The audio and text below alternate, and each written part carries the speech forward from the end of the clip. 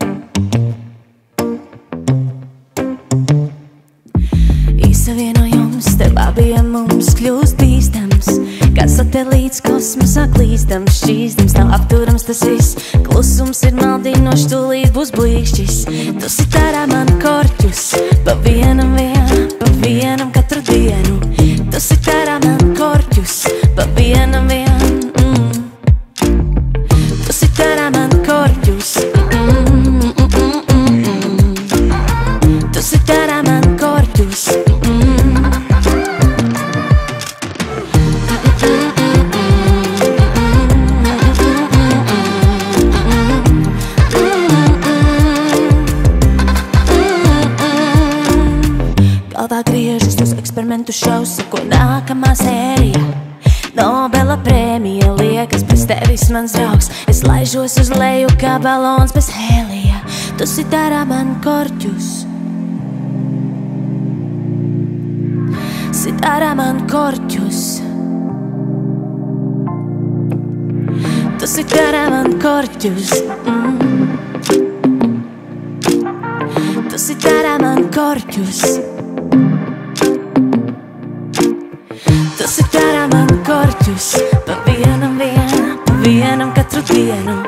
Tu sitārā man korķus.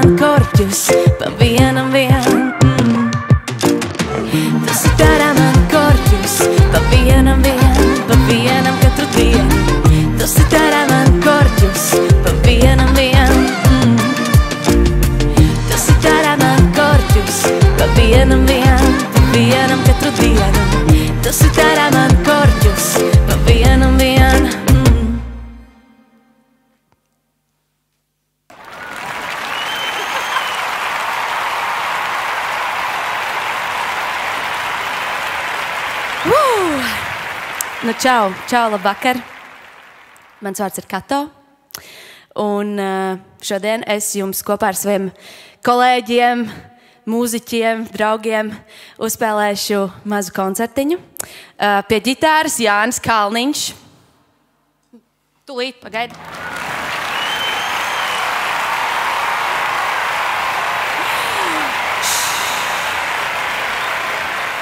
Un uh, vokāls, un uh, daudz un dažādi visādi instrumenti. Un uh, Daniela!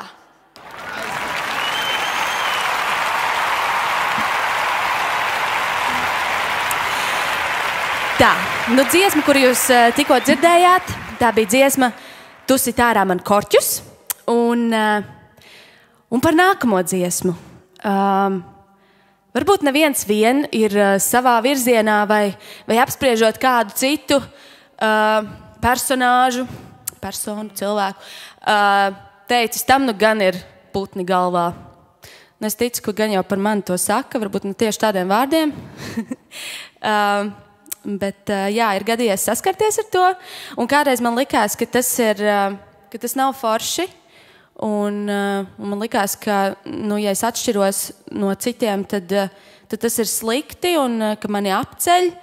Un tā, bet uh, patiesībā pavisam nesen es nonācu pie secinājuma, ka tas nav slikti un atšķirties ir forši. Un, uh, un tieši tie putni, kas mums ir, mūs padara par tiem cilvēkiem, mm, kādi mēs esam. Un, un tāpēc jau uh, pasaulē viss ir tik forši un skaisti, ka mēs esam tik dažādi un tik interesanti. Un tad lai skan dziesma, ko mani putni ēda.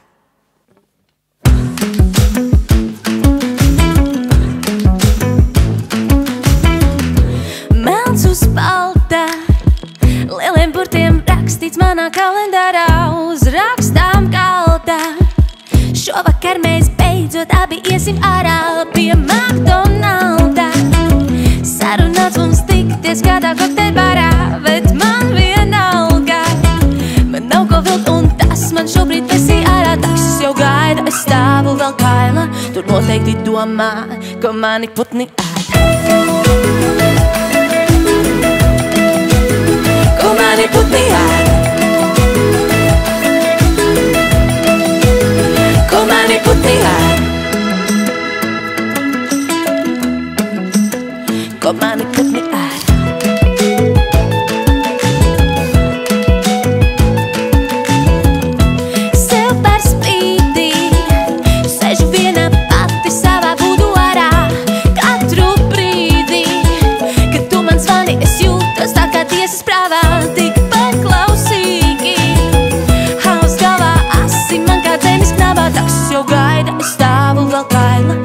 Noteikti domā, ko mani putni ēd Ko mani putni ēd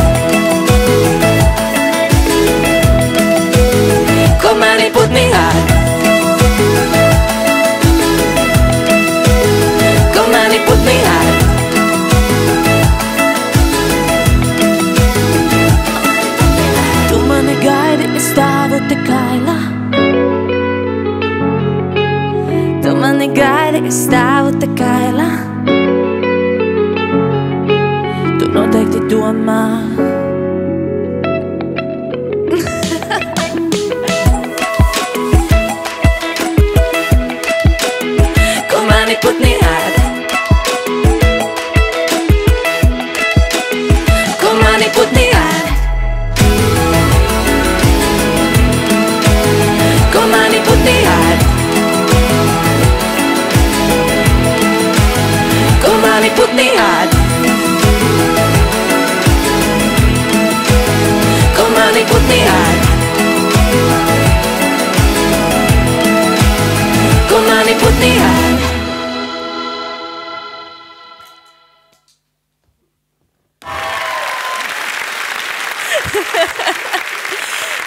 izvēlējos stadions, un tagad es izvēlējos kliedzošu. Nu, tā, kaut kas jau jāmaina, vai ne? Uh, labi, mēs esam nonākuši pie, pie nākamās dziesmas. Un uh, par to es gribu teikt tā, ka katram droši vien nu, ir kāda tāda diena, ka liekas, ka nu, nu vienkārši pilnīgi un galīgi neiet. Nu, tā kā, kāpēc, kāpēc tā ir? Un tad, kad man pienāk tāda diena, tad, eh, nu, protams, es gribu kādu vainot pie tā, ka man neiet. un Tad es domāju, ko lai es vainoju. un Es domāju, vai tik nav pilnmēnesis. Un bieži izrādās, ka nav. Nu, tā. bet, eh, bet, ja viņš ir, tad eh, mēs varam likt vainu uz pilnmēnesi. Jo tad notiek nu, visādi. Notiek. Nu, tad ir garstāvokļa maiņas, un, un, un cilvēku uzdās dīvaini, dīvaināk, varbūt kā parasti. Nu, jā, un var darīt visādas trakas lietas. Un pilnmēnesī, man liekas, darot trakas lietas, viņas izrādās vēl, vēl trakākas beigās. Nu, tas tā, tā ir mana pieredze. Uh, bet nākamā dziesma, nākamā dziesma - pilns mēnesis.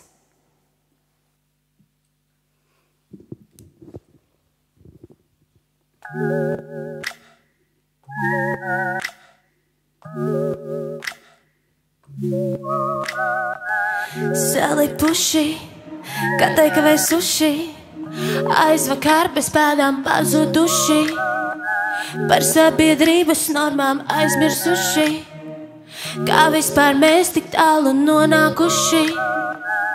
Vainīgs nav tukšs vīrs, vainīgs nav adrenalīns, pie visa, kas šonakt nav tīrs, ir vainojams pilns mēnesis, vainīgs nav tukšs vīrs, vainīgs nav adrenalīns, pie visa, kas šonakt nav tīrs, ir vainojams pilns mēnesis, pilns mēnesis, pilns glāzes, pilns lozs, nav stres, nav blaknes, nav drēbes, nav nekas, tikai pilns mēnesis, pilns glāzes, pilns lozs, nav stres, nav blaknes, nav drēbes, pilns rūpes nav.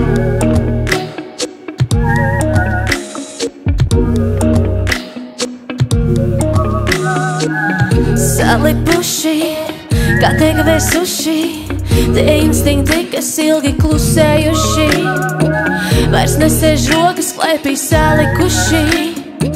Kā ieslodzītie beidzot izbēguši. Vainīgs nav tukšs vīns, vainīgs nav adrenalīns. Pie visa, kas šonakt nav tīrs, ir vainojams pilns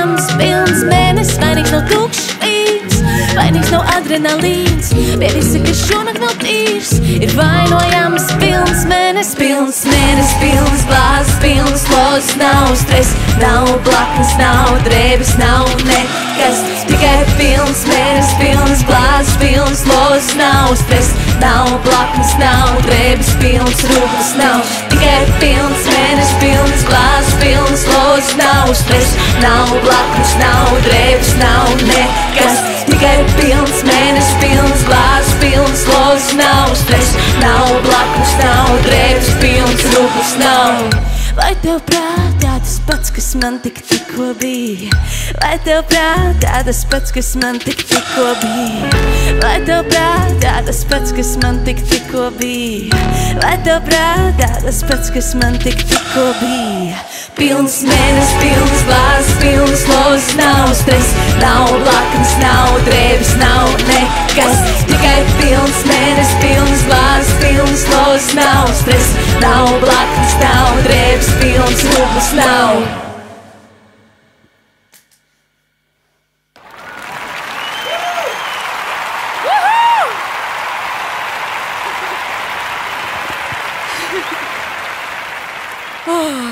Šis tāds labs, tāds trakojamais gabaliņš.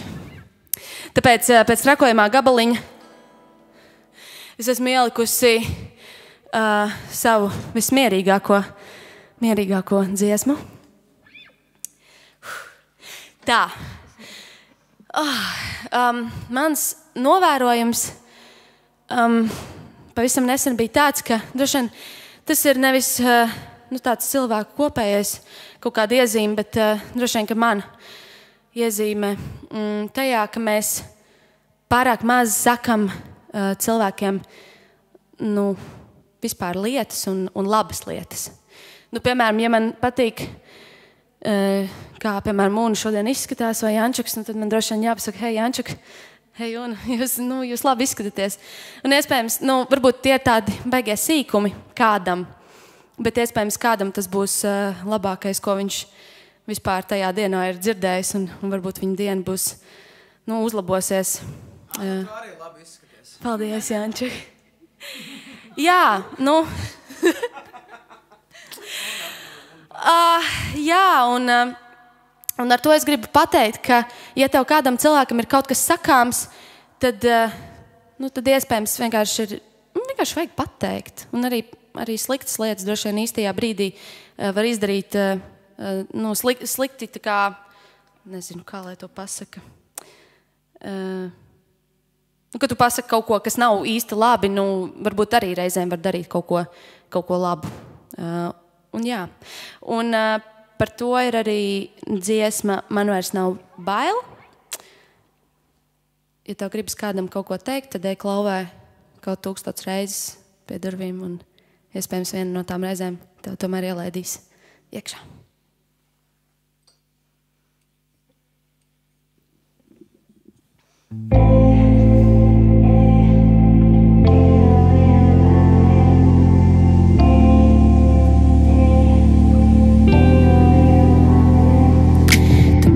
Pie durvīm tūkstošiem reižu Vakaros, rītos, lai pielavītos It kā nejauši noķerot acu skatu Tu ceri kaut tikai es neizbītos Nekas no tā man nešķiet par biežu Nekas no tā man nešķiet par tiešu. Ja tu man lūgtu, es piedalītos Es ietu tev līdzi un neatskatītos Tās domas, kas galvā man šaudās. Noteikti nav tavās priekšnojautas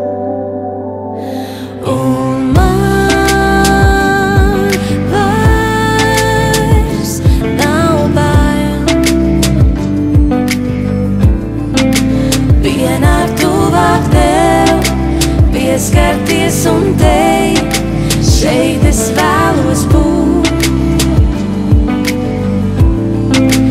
Pienāk tuvāk tev, pieskarties un teikt, šeit es vēlos būt. Tavā logā tā gaisma tā traucē man mieru. Pārskaidu aitas piesētas, kas ietas Viss klus kā pirms vētras nav liecinieku. Rokām, kas šad un tad klusumā tiekas Nekas no tā, man nešķiet par biežu Nekas no tā, man nešķiet par tiešu. Ja tu man lūgtu, es piedalītos Es ietu tev līdzi un neatskatītos tās domas Kas galvā man šaudās. Noteikti nav tavās priekšnojautās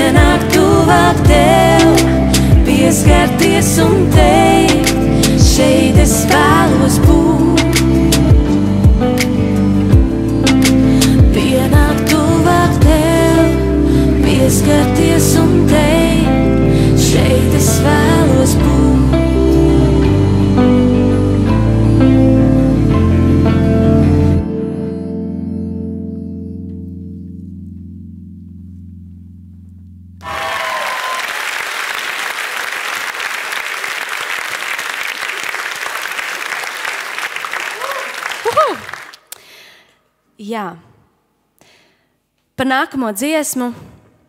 Mm, es uh, pagājušā gada novembrī izdevu savu pirmo mini-albumu. Tas bija ārkārtīgi liels notikums priekš manis.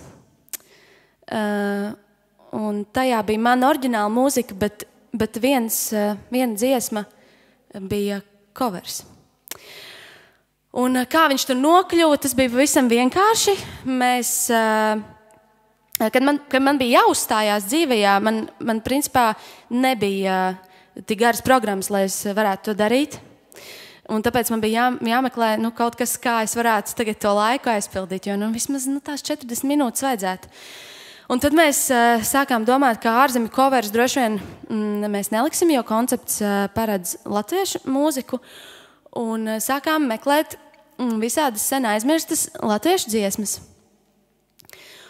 Un tad nu, tur pieslēdzās vairāk cilvēki un sūtīja vis visādus variantus, ko, ko nu varētu iekļaut uh, tajā programmā.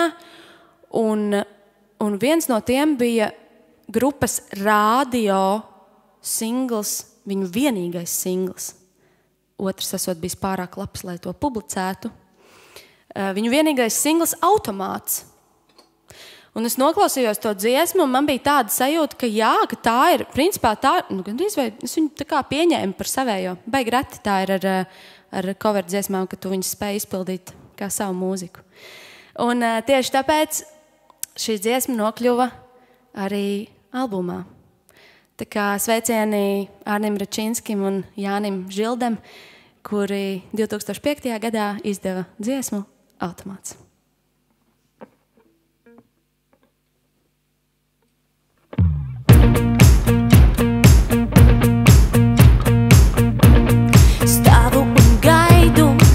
Kavēju laiku, jo katru dienu strādāju.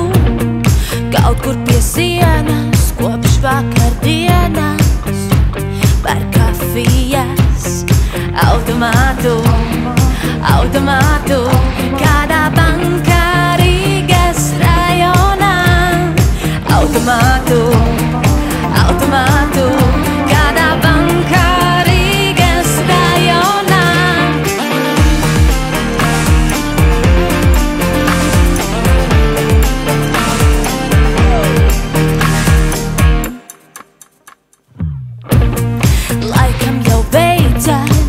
laikam man beidzas, laikam jau viss ir kārtībā. Cilvēki steidzas, cilvēki beidzas, tumsā stāvu viens ar automātu, automātu, kādā bankā Rīgas rajonā. Automātu, ar automātu,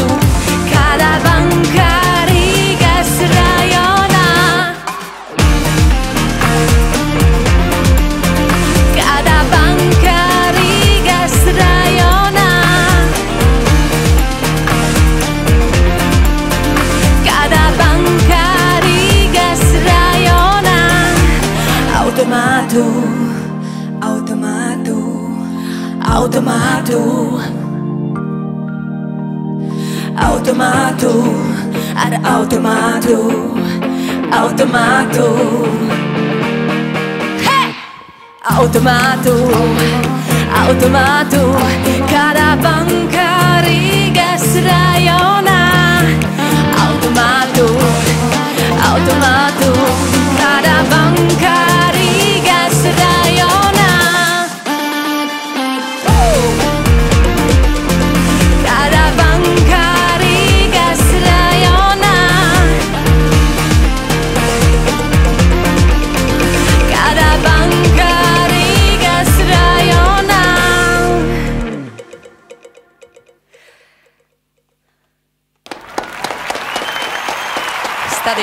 Viens stadions aizgāja.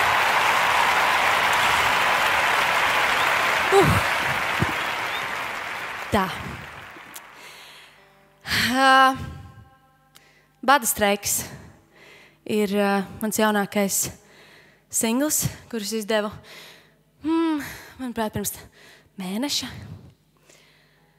Un šī dziesma ir par to, ka mēs, mēs mēdzam, nu, vismaz es, es atkal nevaru droši vien runāt par visiem, bet uh, mēdzam iedomāties savā galvā nu, visus tādus scenārijus. Nu, piemēram, ir kaut kāds notikums, un mēs jau izdomājam, tur tā, tas teiks to, tas būs tā, un izdomājam jau beigas bez mazvai, un paši savā galvā vienkārši jau pieņemam jau kaut kādu lēmumu, un iespējams nemaz nepakonsultējamies ar to cilvēku, ar to personāžu, kurš ir šajā visā pasākumā iepīts. Nu, jā, tāpēc eh, nu, no sērijas pats izdomājām, pats apvainojās. Nu, man tā gadās. Uh, nu, jā, droši vien, eh, droši vien tas, ko es ieteiktu, tā, tā, tā nevajag darīt. Uh, ja, kā jau es iepriekš minēju, ir forši sarunāties un, un noskaidrot, kas tad un kā ir patiesībā. Tāpēc uh, nākamā dziesma būs bada streiks, bet gan uh, tādā neierastā skanējumā, jo, jo uh, šis pasākums pie, mums pieprasīja uh, kaut kādu dziesmas um, nu, citādāku versiju, un mēs esam izlēmuši, ka bada streiks būs tā citādākā versija. Es spēlēšu ģitāru.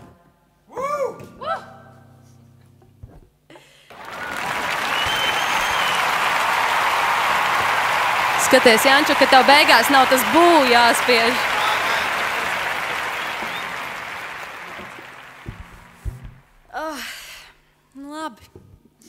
Kniedēs, te jau redzēs, kā būs. oh.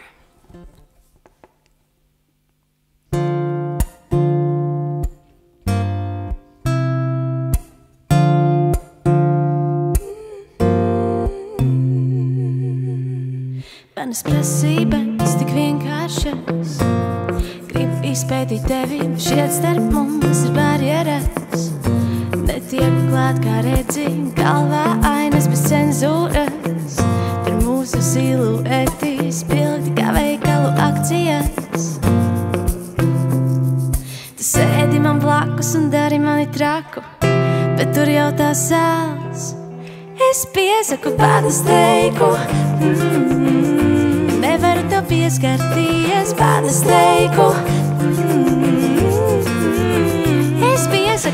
steiku. Mm, jo nevaru tev pieskarties, bada steiku.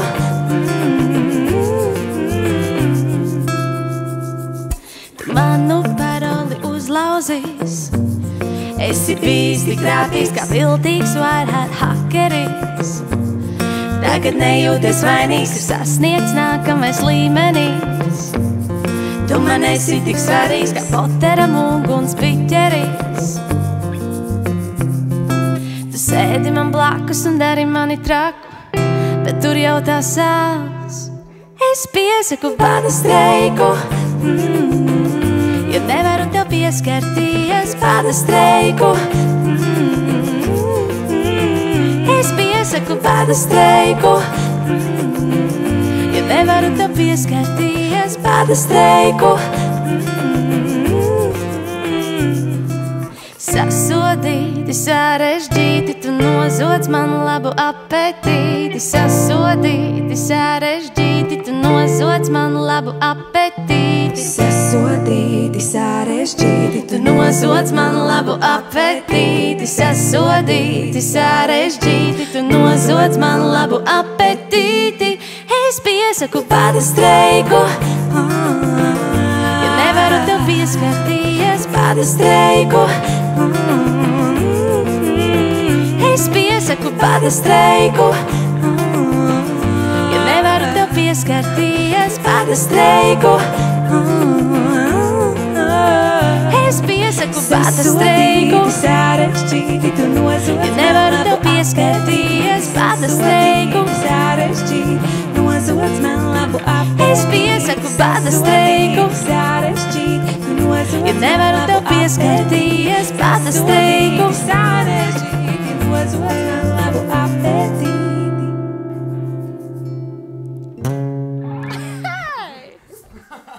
Labs! Nu tā, ģitāra spēle bija mans mazais Covid projekts. Nu, es nezinu, man gribētos būt, bet uh, es likšu. Būs, jā. Kroč, vēl. Uh, Šis nesagāja. Nē, nu, klau, bet uh, nē, es saprotu, ka man vēl ir jātrenējās. Bet, uh, bet jūs nevarat iedomāties, cik, uh, cik forši ir sajūta, ka tu izdari kaut ko pirmo reizi, un tad tev liekas, ka tu jau esi pakāpies jau tādu vienu maziņu foršu solīti uz priekšu. Ne? Jā, tāpēc es visiem novēlu darīt lietas, kuras jūs neesat darījuši. Un lai ir biežāk tās pirmās reizes, vis visādas. Nu tā, nu mēs esam nonākuši pie, pie pēdējās dziesmas. Un pēdējā dziesma man ir ļoti īpaša ar to, ka tā bija mana pirmā dziesma. Un ar to aizsākās uh, projekts Kato. Un, uh, un tas aizsākās bez jebkādām expectācijām. Um, nu, mēs nezinājām paši, ko gaidīt. Es, es vēl jau mazāk pati vispār. Es nezināju, kas, kas būs un kā tas notiks, un vai, vai tas aizies, vai tas neaizies. Um, bet kaut kas aizgāja. Laikam vajag, uh, laikam vajag daudz vienkārši domāt un daudz uh, sapņot un sev ticēt. Uh, un nākamā dziesma ir par to, ka mēs, uh, mēs katrs, vismaz es, es pilnīgi noteikti mm, vispirms uh, pieņemu lēmumus ar sirdi, bieži vien, un pēc tam domāju, ai, bāc, vajadzēja citādāk.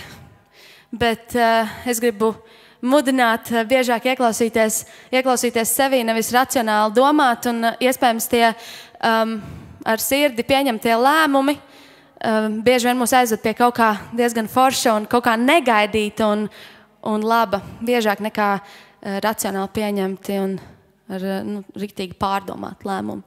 Tāpēc, uh, lai skan mūsu pēdējā dziesma šovakar, es gāju par tālu. Es ļoti ceru, ka jums visiem bija foršs vakars, jo mums bija rīktīgi foršs šeit. Um, Covid ir iemācījis priecāties par koncertiem vēl vairāk nekā pirms tam. Katrs pasākums ir kā svētki. Tāpēc mums bija rīktīgi forši kopā satikties. Un, un domofonā ir rīktīgi forši gaisot. Un paldies visiem, kas rīko šādus pasākumus. Nu, tiešām ir ļoti, ļoti forši. Paldies! Es gāju par tālu.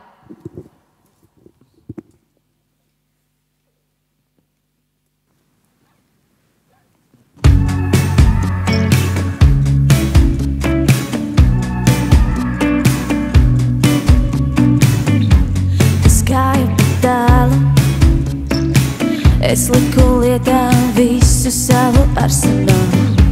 Tu nāci man līdzi, kaut zināji, šis ceļš mūs ved uz zemestrīci. Visplānākais lēdus, mums zem kājām likās tā kā bitēmēs, bet salganās filmās apgalvoja, tas ļoti dārgi maksās. Es zinu, mēs abi jūtam, ka krītam.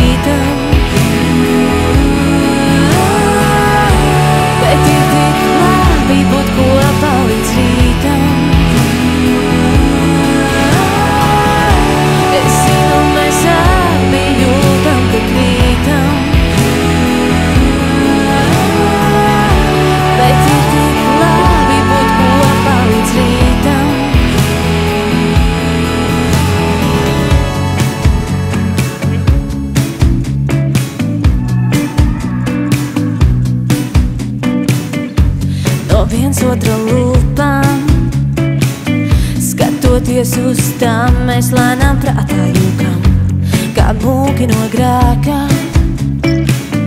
Baidījāmies paši sava gribas spēkā Vai ir jau par vēlu? Vai varam pagūt visu glābt ar kādu palu? Bet salganās filmās apgalvo tas ļoti dārgi maksās. Es zinu, mēs abi jūtam, ka krītam. Bet ir tik labi būt kopā līdz rītam.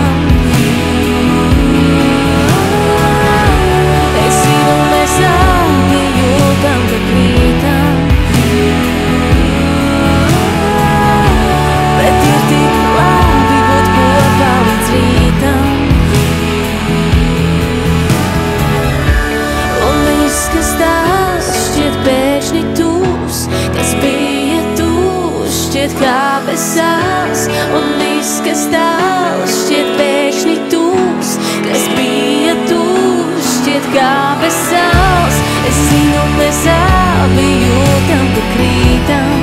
Bet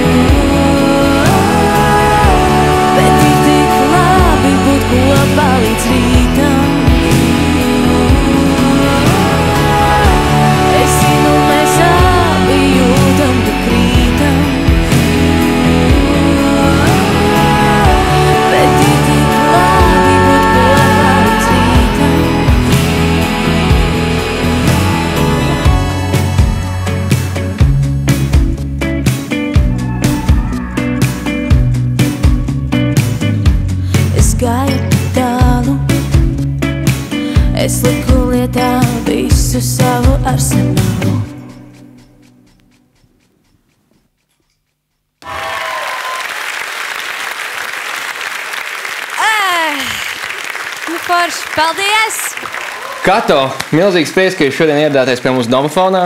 Kā jūs redzat, mums ir no pirmās sezonas pamainījies kaut kas izskatā vairāk tropiski, arī jūtams ir, vai ne? Ir, ir, jā. Jo to, ko skatītāji nemaz Bet tas ir nepamanīja. forši uzreiz tāda, nu, zin kā tāda realitātes uh, sajūta uzreiz ir. Nu, ka Mēs mēģinām visu simulēt līdz pēdējai Jā. detaļai, ieskaitot arī karstumu. Bet mitrums pietrūkst. Nu, mēs pacentīsimies nākamreiz. tauriņi. Tauriņš, Tauriņu māja. Tauriņš mums jā, jāsagādā. Jā. Jo, jā, jo līdzīgi kā pirmais kurs mums vienā no koncertiem teica, ka tajā brīdī bija tieši pateikts, ka festivālā vairs nebūs, vai ne? Mm -hmm. Un mēs teicām, reizē pīs festivālā vasarai. Tad šis ir tas moments, kad mēs vismaz varam imitēt to, kā ir, ka ir karsti, svilina pakausī saulīte un, un, un baigi forši. Klausies! Pirms tam, pirms es pievērsīšos par pirmo savu muļķīgo jautājumu. Ok. Tie, kas varbūt pieslēdzas pirmo reizi, es esmu Niklaus, tas ir Jānis. Un, un, un, un mēs esam domofons, un, un mēs šeit esam, lai darītu foršas lietas. Tātad man ir jautājums tev. Par nosaukumu Kato. Vaļā. Protams, vecais, oriģināli. vecais labais joks. Vecais Kato. labais uh, joks ar Kato. Tu gribi zināt, kāpēc, ja? Kāpēc, Nu, kas ir? Kas un ir? Kā? Ka, varbūt kāpēc īsumā, un mm -hmm. Mhm. tad es uh, kādu citu jautājumu uzdošu saistībā ar šo. Tikai neprasa, no kuras valsts valodas uh, kato nozīmē kaut ko. Labi, tā. Um, kato, mm, tas ir no angļu valodas vārda kat, tā kā nogriezt, nevis kaķis, bet nogriezt. Uh, un tad daudzi droši vien nu, grib zināt, ko tad, es, ko tad es nogriežu. Daudz man to jautā, un, un tad es saku, ka es Nu, es ļoti daudz dziedāju bekvokālu pirms uh, katra projekta. Daudz, da, da, daudziem dažādiem Latvijas uh, foršiem māksliniekiem. Un, uh, un tad es kaut kā vienā brīdī sapratu, nu, īstenībā. Man jau visu laiku jau bija tā sajūta, ka man, nu, man, ka man gribās vienai pašai uzstāties un vienai pašai dziedāt. Un, uh, es diezgan sen jau arī nu, rakstu visādas dzējas un rīmes un, un visu kaut ko. Man, tas, man ļoti, ļoti tas patīk. Un, uh, un, jā, un tad es uh, sapratu, ka, vis, nu, ka man gribās kaut ko savu. Nu, kaut kas jāspēr vaļā, vai nu, vai nu sanāks, vai nesnāks. Tas ir cits jautājums, bet, bet kaut kas jādara. Tas, tas nebija tāds tā impulsīvs lēmums, bet vai bija kaut kāds liels blīkšķis, liels notikums, kurš lika ok, tagad, jo patiesībā viņš ar muziku nodarbojas jau no. Es nodarbojos, un īstenībā, un īstenībā tas blīkšķis bija. Es gan man grūti vienmēr atcerēties, kura gada supernova tā bija. Mm, tas droši vien bija pirms kaut kādiem trim gadiem, es pieļauju. Uh, es piedalījos Supernovā kā Anna Zankovska ar dziesmu Rage Love. Uh, tas bija tāds neplānots, es teiktu, Gadījās, pasākums. ne Un tā man gadījās, jo mēs kaut kur braucām. Man liekas, ar to pašu Kasparu Ansonu. Es teicu, hei, varētu piedalīties supernovā. Viņš teica, hei, man ir dziesma, hei, vai ierakstam. Un tā mēs ierakstījām, riktīgi, riktīgi ātri visu sadarījām. Un, un tas ātrums laikam bija tā kļūda. Nu, ka tas viss tika izdarīts ātri. Uh, jo bija ātri jāpaspēj, ātri jānodod gabals. Un, mm. un tā, un beig, beigās es visu tik šausmīgi ātri darīju un, un pievērsu uzmanību visādām niansēm un visam, visam ka es aizmirsu, ka man ir arī jādzied. un tad, un tad nu jā, un, un man liekas, ka es īstenībā gāzē rītīgi šķīvi. Tur. Nu, tā, es, nu, tā dziesma ļoti specifiska bija, viņa bija angļu valodā, un, un, um, un tajā laikā es īstenībā, nu, baigi maz uzmanības pievērsu angļu valodai, man liekas, ka, nu, nu viss ir pa lielam ok, bet īstenībā nebija. Un, un tā, un tur bija visādas tādas uh, problēmas, manuprāt, bet dziesma bija riktīgi interesanta.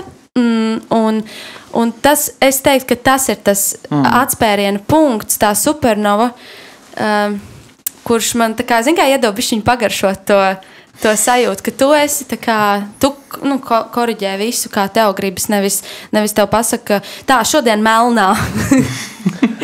Tā, rītā tas gabals jāmauc, tur brauksim uz Lietuvu spēlēt, nu, konci, nu, tā kā visu dienas garumā un ģērbies melnā. Nu, tā kā tas viss ir nenormāli forši. Un, Principā tu vienkārši gribēji būt krāsaini ģērbties. Bija principā es vienkārši gribēju savu mūziku spēlēt. Bet tad jau baigi labi. Bet jau ir ļoti labi, ka tas atspērienu punkts notika, Nu, ka iegāzēja nereāli. tajā brīdī. Un tagad mēs esam šeit ā, tauriņu mājā bez tauriņiem. jā, jā. Bet es tev gribu paprasīt par, nu, par to, par, ka, nav ar kaķiem saistīts. Nu, Nu, tas otrs visai, arī, visai, visai grupai. Jums. Kā jums kādas jums attiecības ar kaķiem? Varbūt jums pašiem kāda maidzīvnieka tā. Man ir maģiskais, man ir suns. Man, es neesmu kaķa cilvēks vispār, necik. Man tā kā ir tāda bijība pret viņiem. Nu, tā kā man liekas, ka man ir jāuzmanās, ja mājā ir kaķis, tad nu, tā kā rītīgi prātīgi. Bet tas tā ironiski sanāk, to, ka tas nu, kato, kad saka, nu, kas ir no kata, bet ļoti, nu, es pieņemu, ka kato arī saka, ka, oh, pasties, kāds jauks kato tur, jā, nu, kā, jā, jā. Starp citu, es kaut kur dzirdēju, ka kaut, kaut kā mājās kaķi sauc kato arī. Nu, jā, kad, kad tas ir, nu, kad tas Bet līmēs. tā kā. tas, tas, tas ir vienkārši nu, interesanti, ka arī nu, cik daudz var dažādas tās lietas noz, nozīm, nozīmēt. Bet, uh, Jebkurā gadījumā, jo man bija man tāds spīkers vienkārši par kaķiem, jo man skato, un kas par, par putniem dziesmu, tad es domāju, vai tā ir kaut kāda cīņa starp maidzīvniekiem, kaķiem un putniem. Bet, Nē, nē, ar kaķiem kaķi un galīgi. putni jau nevarētu būt kopā. Tur tas nestrādātu īpaši Nu, labi. tāpēc jau viņš teica cīņa. tā ir Nu, jā. cīņa, tā kā kaut kāda, zin, kaut kāds, kaut kāda, kaut kāda nesaskaņa. Bet, bet, bet labi, kato ko vispār kato nav? nu, jā, ne, nu, ir baigi daudz un dažādas nozīmes. Un es īstenībā aizejot uh, gandrīz vai nu, pašā sākumā, kad gāju pie intervijām, tad aizēju uz kaut kādu interviju, un man kāds izstāsta, ko īstenībā nozīmē vēl kato. Nu, piemēram, piemēram, es uzzināju, ka kato ir arī ceļamkrāns. Hmm. Stiprākais, stiprākais ceļamkrāns. Tā ir īstenībā tāda, nu, varbūt ne. Tu varbūt negribi, lai tev sa- salīdzinātu ceļā, bet īstenībā ceļš kaut kas tāds, kas būvē, tas, kas būvē Jā, mājas, kas, jā. kas tomēr šansē Un kārtīgi. tad vēl bija kaut kāds prikals par to, ka Kato ir tas cilvēks, kurš dzīvo pie slavenībā. tā kā pa brīvu slavenību mājām. Viņš vienkārši tur ir. Nu, kaut kas tāds. Bet, nu, es ne, viens ar tā dzīvoja kādu laiku. nu, viens principā bija Kato. Kā pārējiem ar tiem aizdzīvniekiem, man, man vienkārši gribās baigi arī pār, dzirdēt, kā, kā pārējiem, kas, kas notiekās. Man ir kaķis Flopijs, kurš ir ārprātīgi. Ne nepaklausīgs, bet vienaldzīgs. Viņam pilnīgi vienalga. un Viņš ēd 24 stundas diennaktī, visu laiku ēd, guļ, vienkārši neko nedara un ņaud visu laiku. Un, um, un tāpēc viņš jau ir kādu laiku laukos. Mēs no viņa mazliet atpūšamies. Bet, bet tas Drīz nav tas labākais arī, atpakaļ. tā kā, oh, flopī, un tev vienkārši paskatās uz tevi un tā kā, jā, es arī tev mīlu flopī. jā, jā, tieši tā. Nu, jā, nu, jā. Kā Jānim? Ā, nu, es tāpat kā Anna, esmu, es esmu suņu cilvēks. Vairāk man ir suns. Jā. Mamā ir kaķi un laukos ir kaķi, jā, bet ā, nu, es galīgi neesmu kaķu cilvēks. Nē. Labi, ar to laikam jāsaka, ka man, man, mans, mans ka, kato kaķi joks laikam ir jābeidz. Ok, labi, šaujam tālāk, šaujam tālāk. Aiziet. Kā jūs savācāties šādā sastāvā? Kā mēs savācāmies? Īsnībā šis ir uh, mūsu pirmais pasākums šādā sastāvā. Uh. Es varētu uzspiest šo te. Tu vari Tu vari. uzspējas tā kā tur viss strādā. Šis bija ugunskristības. Jā, šis bija ugunskristības un uh, īstenībā baigi forši. Nu, kaut kā, kaut kā ir, ir baigi dažādi un, un uh, sastāvi ir. Es esmu, piemēram, spēlējis rīktīgi, mm, rīktīgi daudz sastāvos, nu, tāpēc, ka es dziedāju bekus un tad, mm. un tad tu visu laiku sadarbojies ar visādiem cilvēkiem. Un, un ir baigi interesanti tas, ka ar kaut ko tev izveidojas tāda baigā ķīmija, un ir tādi cilvēki, ar kuriem tu oh, es ne- negribu mm. šo mēģinājumu, negribu iet strādāt. Nu, tā vienkārši ir. Tas jau ir cilvēcīgi. Mums nu, ir, ir kāds, kas mums saista, un kāds, kas mazāk saista. Nu, šitie man, šitie divi man, man saista visforši. Man Tie ir kā rīktīgi patīk. Jā. Pirmais koncerts. Pirmais koncerts. Bet īstenībā Jančiks, Jančiks man liekas, nu, kā to pastāv pusotru gadu apmēram. Jančiks jau no pirmā koncerta man spēlē. Jā, tā ir. Jā, un tad Jančiks vienreiz teica, varbūt tev vajag gunu. Jā, tā Un, ir. un viņš man teica, varbūt vajag gunu. Un, un es, es teicu, jā, vai. Tāpēc, ka es, es gribēju tādu nestandarta sastāvu. Man gribējās, lai tur nav standarta grupa, bet lai vienkārši, lai ir inčīgāk. Man arī, man liekas, arī šobrīd skatoties, vērojot jūsu koncertu, man arī ļoti patīk tas jūsu skatuviskais, vienkārši kā, kā- jūs kopā darbojaties un tā ķīmija. Un man ļoti patīk tev, un ka esi tā kā. Tu esi ļoti tā kā zolīta, un tad pie drāmpēta tur tā Jā, tas kā riktīgi un malts man tāds tā kā. Jā, jā, un tu saproti, tas ir, tas ir, tas ir tā Tāds kā. personības. Ļoti, tas man ļoti patīk, jā, ka jums ir tāda. Mums ir eksperimentālais sastāvs, principā. Varbūt pasapņosim bišķīts ar, ā, ko jūs gribētu, jo iepriekš, kad pieteicis skatot, viņi pieteica vairāk kā, kā projekts, lai gan tā ir tu, tajā pašā laikā tas projekts. Jā. Ar ko tu gribētu sadarboties, bet ne sastāvā, tā kā, nu, paspēlēt kopā uz kādu brītiņu? Ar ko tik es negribētu? uh, nu, tā kā no latviešu droši vien mūziķiem tu domā. Vienalga.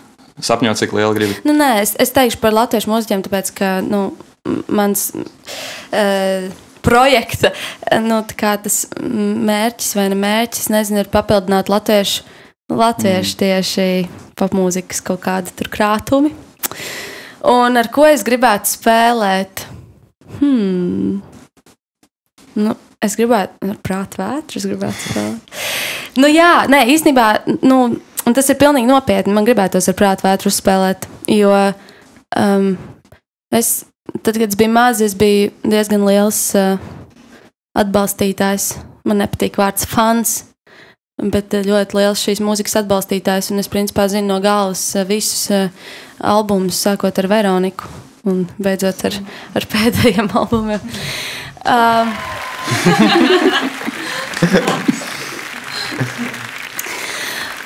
um, jā, nu, es ļoti tā kā, uh, man ir svarīgi vārdi, un man ir uh, svarīgs uh, vēstījums, dziesmas. Es vispirms klausos to, īpaši latviešu mūzikā. Uh, ārzemju mūzikā droši vien vairāk no sākuma beats, un pēc tam es pieslēdzu vārdus klāt. Bet jā, tas tā ir. Un man, man patīk uh, tas, ko viņi dara, un tas veids, mm. kādā viņi to dara. Um, arī ja tās nav tur viņu pašu komponētas, varbūt nu, tekstuāli uh, dziesmas, nu, viņi vienalga kaut kā. Kaut kā panākt to sintēzi, tādu baigu labu. Un, uh, un, un man arī svarīgi ir, ka arī tās dziesmas, ko es dziedu, ka katrs var viņas sasaistīt kaut kādā veidā ar sevi un izlaist nu, emocionāli caur sevi. Un, man liekas, ar prātu vētras dziesmām ir, ir ļoti līdzīgi. Un, tad, un, un vēl es gribētu noteikti ar kādu reperu sa sadarboties. Es, man ir padomā jau šis tas, es ceru, ka. Uh, Bet ka tas- skaļi neteiksim? Nē, es neteikšu, tāpēc, ka, zin kā, tās tādas lietas, nu, prāta vētra, nu, tā kā, nu, to es varu pateikt. Nu, tas, tas ir kaut kas tāds. bet, um, bet, jā, par to. Mm, Par to reperu man, man gribētos. Man liekas, tas būtu forši. Es arī piekrītu, man vienmēr patīk, ka tā kaut kā tās pasaules kopā mainās un, un atrod kaut kādu jaunu skanējumu. Bet Jā. par to prātu vērts, domāju, man liekas, tas bija iepriekš jau pieminētajā pirmā kursa koncertā. Pirmais kurs no kad teorētiski jau tu- ir šeit ir. Kad tu, ja jūs paskatāties, tur mums stūrī šo muskuļoto balto vīru bez rokām, diemžēl. Bet uh, pirmais kurs to iesauc par jubaltu. Ok. Tā kā daļēji jūs jau, jūs jau esat ceļā uz to prātu vētru. Ja? Es, kā, es ceru, jā. ka šis būs tas uh, turning points, ka um, pēc pāris dienām būs tas maģiskais zvans. Tā kā, ka klausies, Jā, hei. prātu vētra zvanī. Uh, vajag dziesmu. par uh, par dziesmu rakstīšanu. Kā, kā tas notiek? Es saprotu, ka tu vairāk fokusējies uz vārdiem. Un, uh, pie lielākās daļas no dziesmām tev pierakstīts klāt ir Kaspars Ansons. Jā, uh, mums kaut kā ļoti labi kopā strādājas. Mm, principā tas notiek tā. Es aizēju, nu, mums ir, mums ir, eh, nu, viņam ir sava studija, ja, un tad man ir tāda mana telpa eh, tajā pašā stāvā pretī viņa durvīm. Un, eh, nu, es viņu tur dažādi izmantoju, es tur rakstu mūziku un arī vadu vokālās nodarbības un tā. Un tad mēs satiekamies, un, un tad nu, mums ir sakrāts, piemēram, kaut kādas uh, frāzes, rindiņas. Un tad mēs eh, ejam cauri tā, kas kuram ir, kāda frāze. Tad izvēlamies eh, labāko frāzi. Un, eh, un uz tās arī būvējam dziesmu. Un, un mums ir ļoti nu, līdzīgas tā tās. Uh, ko mēs gribam ar to dziesmu pateikt, un, un kā viņa tiks būvēta. Nu, mēs, mēs kaut kā esam tā sastrādājušies. Bet, lai gan man liekas, tas jau bija no paša sākuma. Mēs mm. sapratām, kā mums tur kā, kā mums patīk. Es varu pačukstēt to, ka tad, kad man bija jāatrod, kā lai tevi uzrunā, lai tu atbrauktu uz domofonu, man bija jāsazvan Kaspars no Jā, sākuma. jā Viņam viņš man arī teica, tev zvanīs, tev zvanīs. nu, lūk, un, uh, un tas tā arī notiek. Un, piemēram, nu, dziesma pilns mēnesis, tur ir vārds alipuši, kā teikt, vai suši. Un tas bija tā, ka mēs vienreiz aizgājām uz suši, neapēdām, paņēmām teikavēju. Atnesām uz studiju, izdomājām, ej, vai uzrakstam jaunu gabalu. Un tad viņi tur stāvēja tādi. Nu, zin kā, zin kā izskatās tādi. Tāda salva. Tāda. Nu, jā, un, piemēram, nu, kaut kā tā, kaut kā tā mēs rakstām. Un, un, un principā, vairāk vai mazāk tas notiek kopā. Nu, varbūt bada streiks ir tā, nu, tur teksts ir, nu, tā kā es teiktu, ka 98% manējais. Bet, uh, jā, nu, vienalga, tas ir, viss, viss ir kopdarbs. Tu pieminēji to, ka tu strādā ar bērniem, un man liekas, ka tas vienmēr ir ļoti interesanti. Ko, ko, kas varbūt ir tā īpašā lieta, kur tu esi iemācījusies no bērniem un paņēmusi atpakaļ sevi mūzikā, vai ir kāda lieta tāda? Zinks ir nenormāli krūti. Man ir tādas reizes, ka man rīktīgi negribas iet uz darbu. Nu, tā vienkārši, ka man liekas, ka Dievs, un atkal būs tā kliēkšana un tas troksnis, un, un atkal neklausīs, un, un varbūt kāds nebūs sagatavojies. Nu, es strādāju gan ar bērnu dārza vecuma bērniem, gan ar uh, vecākiem, vecākiem tīņiem. Um, Skan skaļi. tas ir, tas ir greizi, bet, uh, bet es esmu sev apsolījis to, ka es par pedagogu strādāšu tik ilgi, kamēr es varēšu iegūt šo atgriezenisko saikni, gluži kā tu teici, uh, ka es varēšu kaut ko paņemt un kaut ko dot. Jo tad, kad tas beidzās, un kad tev ir tikai, mm, nu, tā kā, nu, tevis tikai ņem, piemēram, nu, nu, tas, tas, ir, tas ir traki. Un uh, tas, ko es esmu novērojis, ka tad, kad man rīktīgi negribas iet uz darbu, man ir slikts garstāvoklis, tas ir īpaši ar bērnu dārzniekiem. Es esmu neizgulējusies, un viņi rīktīgi jūt. Nu, viņi tā jūt, ka man ir slikti. Un viņi vienmēr nāk pie manis un saka, Anna, es tevi mīlu. Un tas ir nu, tā, ka vienkārši tev vienkārši. Nu, Mēs jā, vai strādājam. Nu, tas ir, tas nu, dod baigo tādu spēku. Un, un, Un, kad tu redz rezultātu, tad tu saproti, kāpēc tu to dari. Un, palielam, nu, ja viņi man pasaka, ka viņi man mīl, tad jau viss ir kārtībā. Tad jau es, esmu, es domāju, ka es esmu labs pedagogs. Neko labāk cilvēks nevar citam cilvēkam pateikt. Jā, Šis, man liekas, ir tas moments, kad tad ir liekas, jāaprast tas. un Tad jānodefinē visiem, varbūt jums, kāpēc jūs nodarbojaties ar mūziku. es, es drīkstu runāt, jā. Šitas jau ir- nevis aizdomājies. Šis ir foršs jautājums. Un īsnībā es to prasu arī saviem audzēkņiem, kāpēc viņi grib uh, muzicēt un kāpēc viņi grib dziedāt. Un, un uh, es gribu teikt to, ka man liekas, ka ja, ja cilvēkam ir ko teikt, vai ne, nu, viņam ir kaut kāds, nezinu, talants vai spēja radīt tekstu un, uh, un ar to uzrunāt un iespējams palīdzēt kādam. Nu, taču uh, ir visādas mūzikas terapijas un, un viss kaut kas, un ir dziesmas, kas tevi super uzlādē, un ir dziesmas, varbūt, kas tev, ja tu esi grūzīgs, tad nu, varbūt viņas palīdz tev izgruzīt ārā kaut kādu sajūtu. Nu, tas ir tik krūti, un man liekas, mēs ar Ansonu citreiz arī sēžam un, un domājam, wow, mēs reāli tikko uzrakstījām dziesmu. Nu, tā kā, puh, kā tas var būt? Vienkārši, it kā mēs tur vienkārši sēžam, it kā rakstam kaut ko, kaut ko tur tā un tā, un beigās, wow, un sanāk gabals. Un cilvēki saka, ka viņiem patīk tā dziesma, viņa tik jautra un pacelājoša. Un tā. nu, kā tu vari nerakstīt mūziku? Kā tu vari nedziedāt? Un tā tas droši vien ir, eh, ir mans tas uh, main, nu, tāds tā kā, es nezinu, uzstādījums priekš sevis, kāpēc es to daru. Kā pārējiem? Nu, man ir tā, ka man mūzikā ļoti patīk tas maģiskais moments, radīšanas moments, ka nu, mūzikas ir ļoti dažādas, un uh, mēs šeit telpā ar mūziku varam radīt dažādas atmosfēras. Man patīk tas radīšanas process mm -hmm. un, un uh, ti, uh, to, nu, tā atmosfēras veidošana. Man ir ļoti mīļa tāda. Um, nu, laikam tas ir tas, kas saista Mm -hmm. visvairāk. Kā tev? Un? Es pilnībā piekrītu saviem kolēģiem. bet, uh, bet jā, man arī tas pats, kad uh, es caur mūziku un, un dziedot, un es caur mūziku reāli varu daudz, daudz vairāk pateikt to, ko es domāju, to, ko es jūtu, savas emocijas. Jo dažreiz uh, runājot vai stāstot, man liekas, ka tas tā kā mazliet tā kā robotiņš esmu, bet nu, caur mūziku tas pilnīgi kā pilnīgi savādāk visu izjūtu un izstāstu to stāstu. Un, un, un, un, jā, un ir interesanti, ka esmu gājis, jā, kā Jānis teica, ka mūzikas ir dažādas. Tur gan džēza, džēza periodam, gan RB gospel, tagad vairāk par elektronisko mūziku. Un ir tik interesanti, un ka tev tas viss patīk. Un tu vienkārši ar tādu azartu visu dari, un koncertā tu vienkārši atdod to savu enerģiju un dabū to visu pašu atpakaļ. Un Kā, ah, mm -hmm. Vienkārši grūti izstāstīt, bet tā kā. Jā, bet ja, ik viens, kurš ir pie, pieredzējis to maģisko uz skatuves iešanas momentu, man, man liekas, ka tas ir. Tas ir Es ne, to pat vispār to, izstāstīt. ka ir trīs kājas un Jā, liekas, ka bet kad visi sanāk kopā, tu sastāvs sanāk kopā un saka, vai ejam tagad, nu, vai uzstāsimies.